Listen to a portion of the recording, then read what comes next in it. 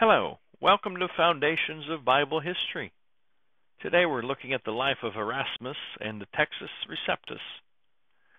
My name is David Seeley. Thank you for joining me. Let's begin our lesson today.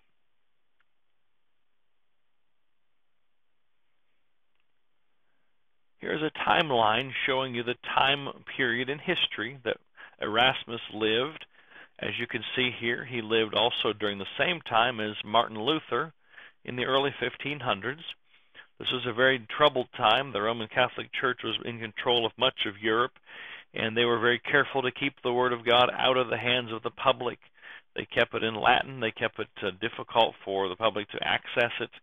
But Martin Luther and Erasmus changed all of that. They began, they lit the fires of the Reformation and made the Word of God available for the public, for every person to be able to access it for themselves which really destroyed the power of the Roman Catholic Church during that time, as we will see. So let's take a look. In recent lessons, we have explored two streams of Bible manuscripts. One began in Antioch of Syria, where Bible believers carefully copied and published the Bible.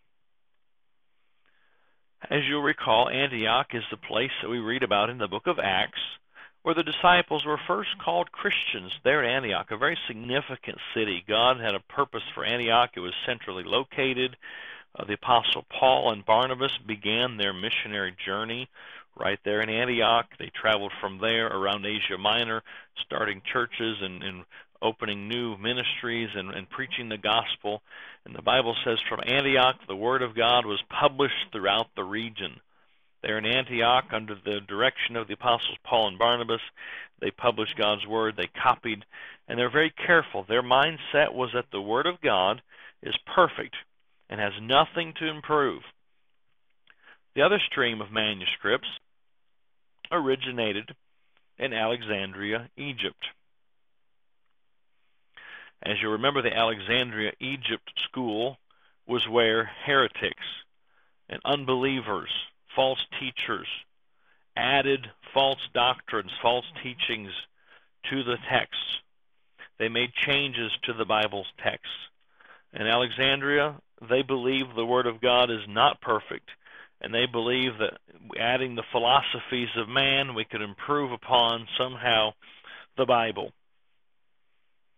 The Alexandrian manuscripts have historically been favored by the Roman Catholic Church.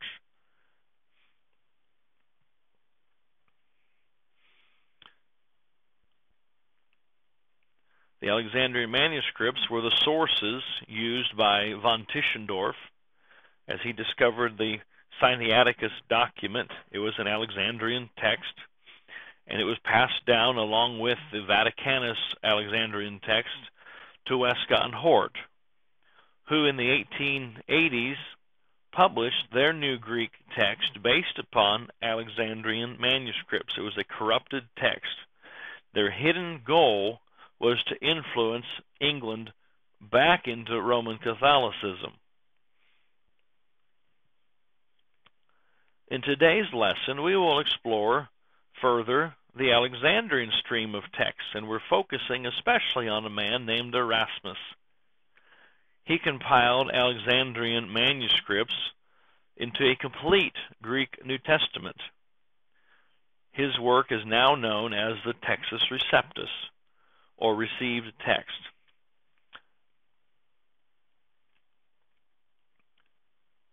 Textus Receptus is Latin for received text.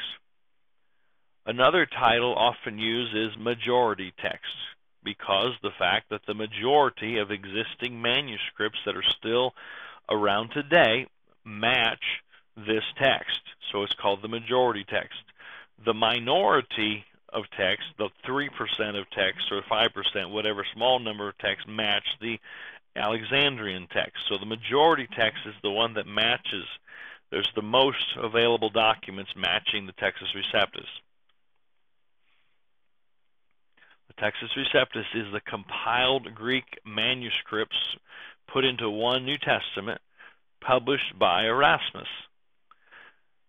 It preserves the accuracy of the Bible as it was in Antioch.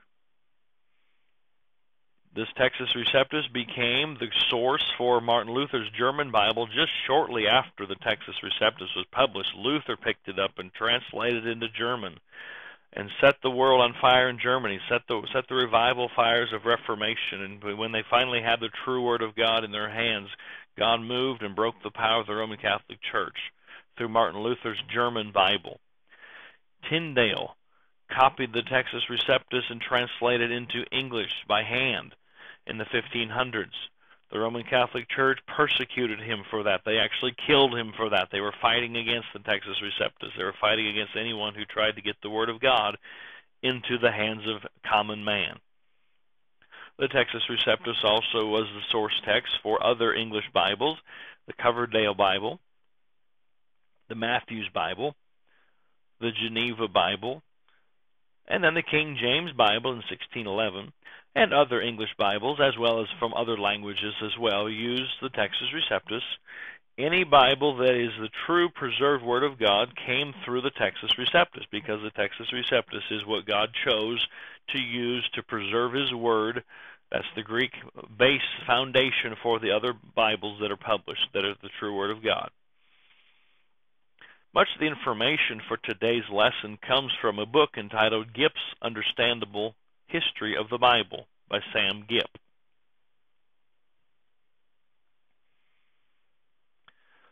Erasmus was born in Rotterdam, Netherlands in 1466. He was a son of a Roman Catholic priest. When he was just a young boy, both of his parents passed away. His uncle did not want to care for Erasmus and his brother, so he sent them to a monastery to live. A monastery is a training school for Roman Catholic monks. So Erasmus grew up under the training of the Roman Catholic Church. They educated him, they trained him, they raised him. And one writer said the Roman Catholic Church had captured his body, but quite apparently his mind and heart were still unfettered. His body was in the Roman Catholic monastery, but his mind and heart saw through the corruption and saw beyond what the Roman Catholics were doing and what they were, saw their corruption.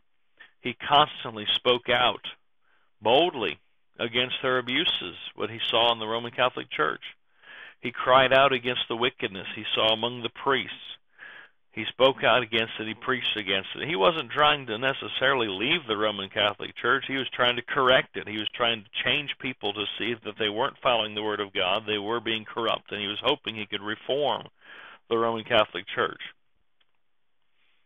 He was so outspoken in the church, but yet he was highly respected because people knew he was uh, they, he was respectable man. They respected him as a person, but they they didn't like his his crying out against their abuses and corruption. So to try to silence him, the Pope tried to bribe him by offering him a powerful position as a bishop. Maybe that would silence him. But he refused the position and kept on preaching. Although grounded early in Catholicism through no fault of his own, Erasmus was orthodox enough to speak out against the church's abuses he rejected her Latin Vulgate Bible, which was corrupt, and he manifested the most non Catholic attitude of all. That was, he had an intense burden to put God's Word into the hands of the common man, something the Roman Catholic Church did not want to have happen. At that time, the only Bible available in Europe was controlled by the Roman Catholic Church. They used the Jerome Latin Vulgate Bible, and they kept it in Latin. They used Bibles based upon the Alexandrian manuscripts, and they did not want the common people reading them. And the Bible that they did use by Jerome, the Latin Bible, was entirely built on the Vaticanus Greek manuscript. Erasmus believed everyone should be able to read the Bible. He said, Do you think the scriptures are fit only for the perfumed, meaning the high class? He also said that he wanted to see the Bible in the hands of the farmer, the tailor, the traveler, and the Turk.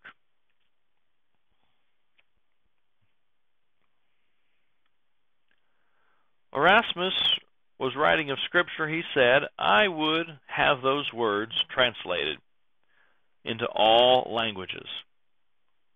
I long for the plow boy to sing them to himself as he follows the plow, the weaver to hum them to the tune of his shuttle, the traveler to sing them with the dullness of his journey. Erasmus' strong passion and desire was to get God's word into the hands of every common laborer, every common person, that no one would have to go to the priest or to the church to get understanding of the Word of God. They could understand the Word of God for themselves. He didn't deny the need to be a part of the church, but he did not want the church holding authority over the Bible. Each person has the opportunity, that was his goal, that each person would have the opportunity to read the Bible for themselves. The inventing of the Gutenberg printing press was a major breakthrough during that time period. The most powerful event of the 15th century was the development of printing. Erasmus was right at the point of history when books would, for the first time, be affordable and accessible. No longer were manuscripts hand copied to order and preserved only by the rich. By 1501, there were more than a thousand print shops in Europe, which had produced some 20 million copies of over 25,000 titles. All the works of Erasmus were published through the printing press. Therefore, they found their way into a wide range, the hands of a wide range of people. God planned it out that the printing press would be invented at the same time period of history when the Textus Receptus would be published because God promised to preserve his word to every generation and the Textus Receptus was the next step in God's fulfilling of his plan to preserve his word for every generation. This was the backbone of all the future uh, Bibles that are to preserve the preserved Word of God, they come from the backbone of the Textus Receptus. And so God, in, in His providence, caused the printing press to be invented at the right time to publish the Word of God in the Textus Receptus. What a powerful God, a God that keeps His promise to preserve His Word. Erasmus collected all the Greek manuscripts he could get his hands on he carefully examined them and looked them over and understood and, and studied them to see which ones were reliable. He rejected the Vaticanus and other texts that were influenced by Alexandrian manuscripts. He knew that Jerome's Latin Vulgate was based on the Vaticanus, so he refused to use it.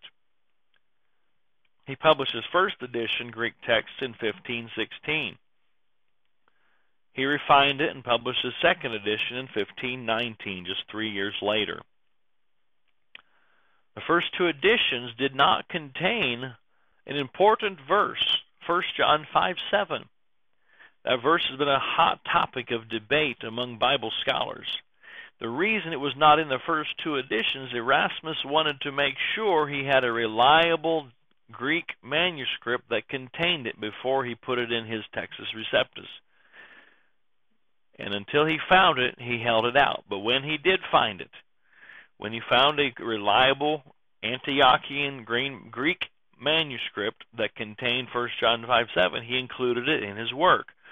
1 John 5 7 is the scripture where God gives us a description of the three members of the Trinity. 1 John 5 7 says, For there are three that bear record in heaven the Father, the Word, and the Holy Ghost. These three are one.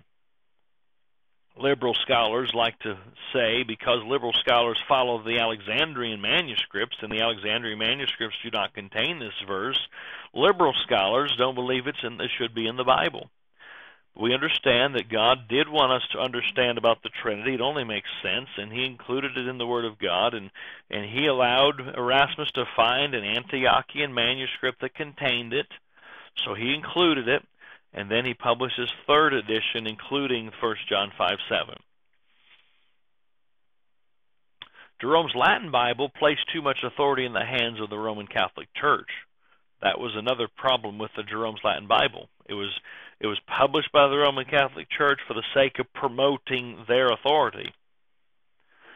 God used Erasmus to fulfill his promise to preserve his word to every generation forever. The Textus Receptus is God's preserved word in Greek and has become the foundation or the backbone for true Bibles in many languages. Erasmus' Greek Bible and other of his writings devastated the authority of the Catholic Church. Now that people could have the Word of God that is preserved and true and it can be translated into their own language without errors and omissions, now the Pope and his and uh, the Church began to lose their authority. The Catholic Bibles exalted the Pope above the Word of God. The Textus Receptus, God used to get the true Word of God translated into German and English and others through this through, through this source, and helped to reestablish the Bible in the hearts of man as God's final authority. That's important. Shortly after the Textus Receptus was published, a German monk by the name of Martin Luther would translate it into German and start the fires of Protestant Reformation throughout Germany and eventually around the world. Martin Luther hadn't planned on anything so big happening, but when it did, he, he first of all nailed his document to the church wall with 95 criticisms of the church and it started a fire of of, of persecution and, and rage and and it just started all it stirred up the people. And then when he translated his Bible into German, it stirred the Catholic Church further and stronger against him, but God's word prevailed. And people began to realize that God's word has more authority than any church. And so God used the Textus Receptus to be translated by Martin Luther into German. We'll study that in future lessons. But the Reformation started with the Textus Receptus. The most significant contribution of Erasmus to the Protestant Reformation was undoubtedly his Greek Latin Textus Receptus New Testament. And as I mentioned, that was the primary source for Luther's New Testament. It was also the primary source for William Tyndale's New Testament that he published in 1526. The Textus Receptus has a long, rich history. In four of the five past centuries, it was accepted exclusively as the true Word of God. It was first produced at a time which immediately preceded one of the most turbulent times in Christian history, right before the big Reformation. It was produced by highly qualified scholar Erasmus, whose work was highly respected by scholars for many centuries modern day liberal scholars they try to discount Erasmus. They say he didn't have much education or he didn't have many documents. He had more documents available than we have today. Many have been destroyed since his time. He was highly respected, highly educated in his day. The most widely accepted and trusted Bible translations in English history came from the Textus Receptus. That would include Tyndale and and the Coverdale and Geneva Bible, and of course the King James. Those are the most widely accepted as reliable. They came from the Textus Receptus. Many of the quotations that early church fathers made in their writings match the Textus Receptus. They support the readings of the Textus Receptus. The majority of existing manuscripts today, ancient documents today, closely match the Textus Receptus. Somewhere around 95 to 98 percent of existing manuscripts match the Textus Receptus. That's why it's also called the majority text. Only 3 to 4 or 5 percent match the Alexandrian text. It has been said Erasmus laid the egg, Martin Luther hatched it. He started the Reformation with the Textus Receptus. Martin Luther continued it by spreading the word in German. God blessed it. In upcoming lessons, we'll explore the life of Martin Luther and how he lit those fires of Reformation and broke the power of the Catholic Church by translating the, Erasmus Textus Receptus into German and help the common people have the Word of God. Remember, God has given us His Word. It's preserved in English. For us, the King James Bible is the preserved English Word of God, and we can have access to it you don't have to depend upon a priest or or a preacher to get the truth. You can you need to be listening to the preachers. You need to be understanding and be a part of a ministry and be a part of the, the, the fellowship of believers. But you have access to God's very words in your own hand, in your own language. Praise God. May God bless you. Thanks for joining me for this lesson today. I hope it's a blessing to you.